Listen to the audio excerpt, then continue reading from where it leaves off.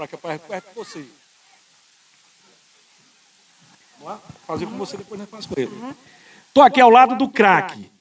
Lá de Canapi, o meu amigo Mini Messi, que deu show nesse amistoso. Teve recentemente lá fazendo os testes no São Paulo, aprovado. Como é que você viu esse jogo hoje aqui na cidade de Delmiro Gouveia?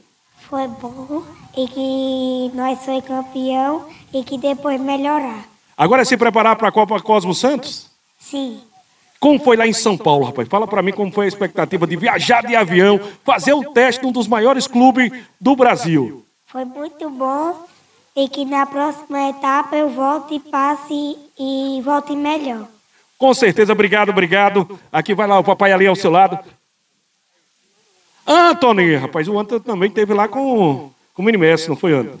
Fala para mim como foi esse jogo de hoje, recebendo novamente aqui a escolinha de Canapi. Foi bom, fiz dois gols de falta, mas não deu e nós perdeu. Mas você colocou do lado esquerdo, você colocou ela no lado direito.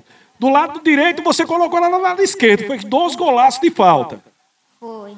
Fala para mim também como foi lá ó, os testes, lá assinando o contrato lá com o São Paulo. Fala pra gente como foi a emoção de estar lá em São Paulo assistindo o jogo lá no Morumbi, rapaz. Fala pra gente a quem está acompanhando através do canal Mais Esportes.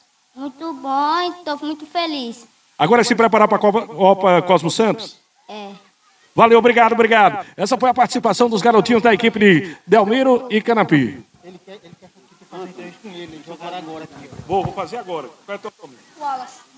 Wallace, você é lá da escolinha Cosmo Santo de Águas Belas. Wallace, fala pra mim como foi aí a emoção de fazer esse jogo, esse desafio aqui na cidade de Delmiro Gouveia. Foi muito bom. Se Deus quiser, nós ganhamos. E preparar para a próxima. Valeu, cara, obrigado.